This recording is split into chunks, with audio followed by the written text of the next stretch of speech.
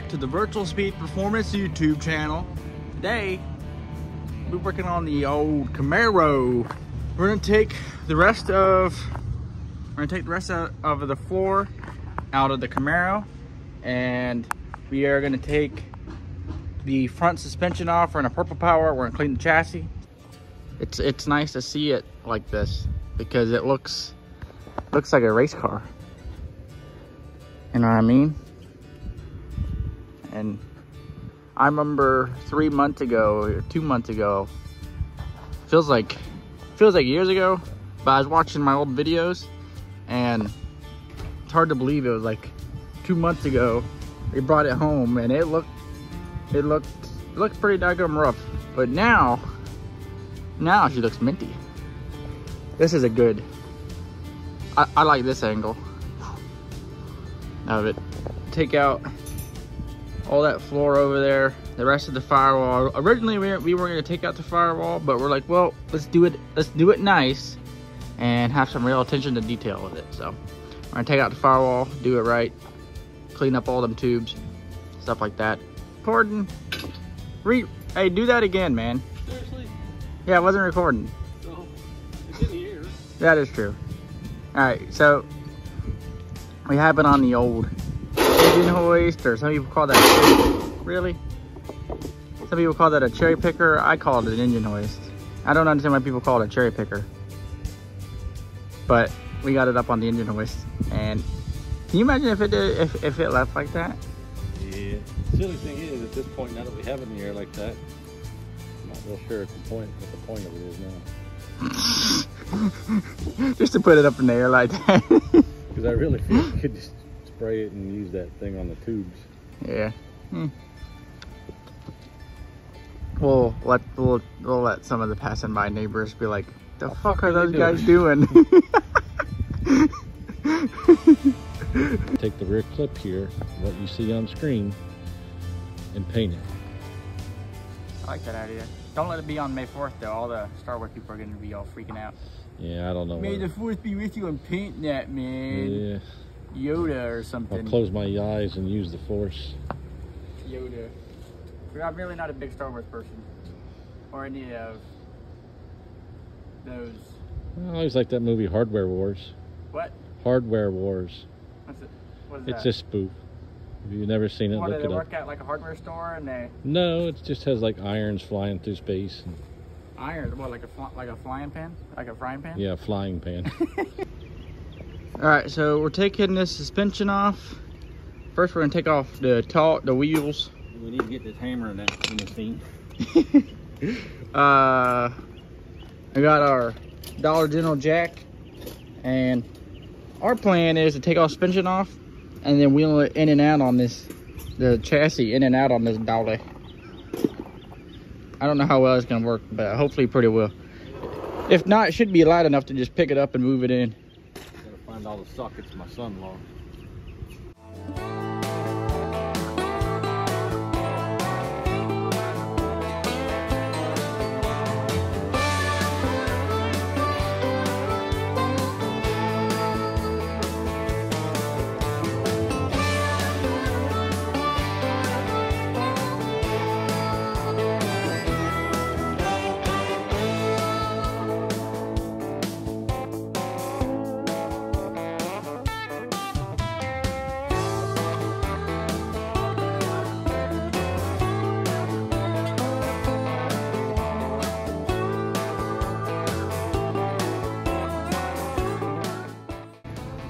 We got here's the two wheels, and the, we took the rack and pinion off.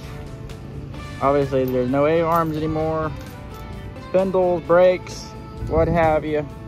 I'm sure a lot of people like, oh, why aren't you powder coating? Well, to be honest, if you want to add bars, it's easier to scuff a little paint off and then When the Mustang was new, I said that too when it came to our shop. I'm like, I guess you didn't powder coat it. And chassis guy was like, Joe Peters was like, if you add something, subtract something, you can just paint it real quick. Right. If you subtract something and add something, you've ruined the powder coat. yeah, And with these cars, you're adding bars, updating the chassis, adding brackets, this, that, cutting things off. So it makes sense.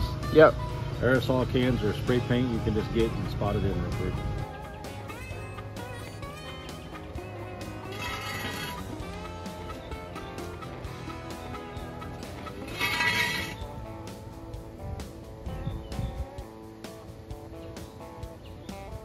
Well, there's our apparatus.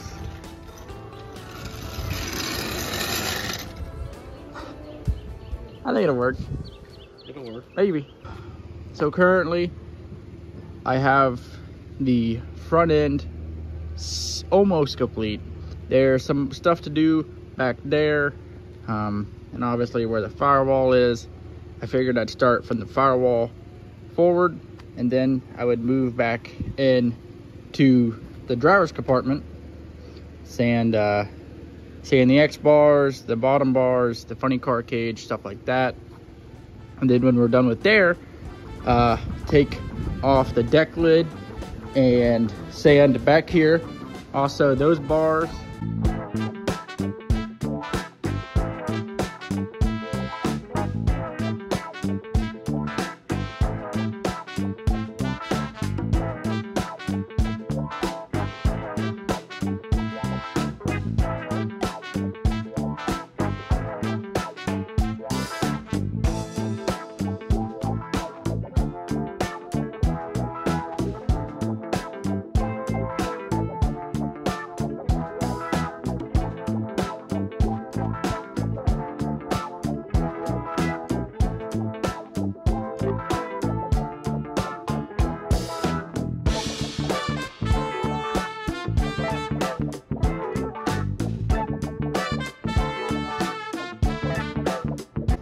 So I got most of the inside sanded. I got, I still got to do the stuff on the funny car cage. And I did get up in there. And we got most of the firewall. And up here, the, uh, from the firewall forward, I got all that. I'm sure there's still some nooks and crannies I'm gonna get with just the uh, sandpaper itself. And uh, as for me, I look like Cole Trickle just dropped the hammer in Daytona on turn two, so uh, I can't wait to take a shower. I've been at it since uh, 8 o'clock, 9 o'clock, and it's about 4.30, 5 o'clock right now. I just, I'm, I'm trying, I'm, I'm trying to knock it out. You know, my dad got, the, my dad took all week to uh, get the, um, he took the entire week off and to, to get all the body work done in the prime and the body in prime. And that motivated me. I'm like damn i gotta i, I gotta get in there and you know do my part. So i would say after i get done with the funny car cage take the back glass out and uh, get the tubes in the back where the tubs are and stuff like that. And then drop the rear end sand and paint that sand and paint all the stuff in the back of the car Date this thing in July.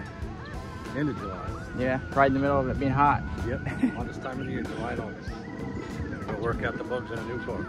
Exciting, In exciting. May we'll take Mustang out. Yeah, I know. What's funny is I was thinking, I'm like, am I gonna wear the same fire suit? Well, I guess it's the same, you know, 20 layer. Because I wear the Mustang, I have to wear a, um, I have to wear a 20 or SFI 20 fire suit because of the exposed transmission. And in this, because it doesn't technically have an exposed transmission, even though really that that thin piece of metal makes no difference whatsoever. 30 thousandths aluminum ain't saving nothing. I don't need an I, I don't need a 20 layer suit. I could get away with like a five or a five SFI five or 10 or whatever uh, they have. But uh, I won't comment this because the five of tens of YouTube tech inspectors out there, the 30 thousandths aluminum would keep trans fluid off of you, which is extremely flammable. oh, I know, but I'm just saying if the flywheel came apart, there that Oh, you cut your flywheel. no. But Okay. but trans fluid, yes. That is why the Pro Mod roll mount and training has to be covered because it keeps the fluid off of there. Right. I've learned that the hard way. I've had my parents' grass on fire pushing a car back, leaking tranny fluid while it was running. the grass on fire, thinking I was trying to get away from the fire, but the fire was following me. Really? True story. I thank you guys so much for watching. I hope you guys enjoyed. Check out virtualspeedperformance.com for your new and used parts.